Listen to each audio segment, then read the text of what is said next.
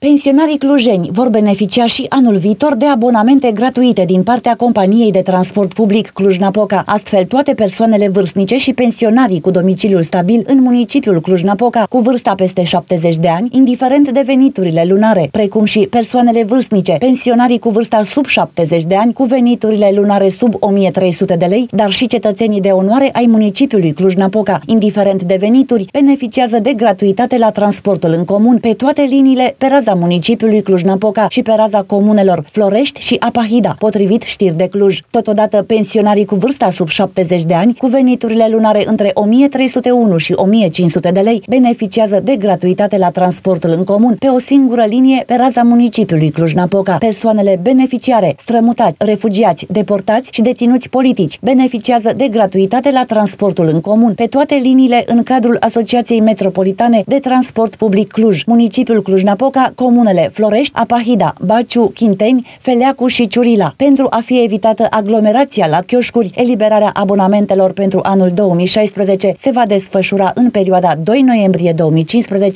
ianuarie 2016.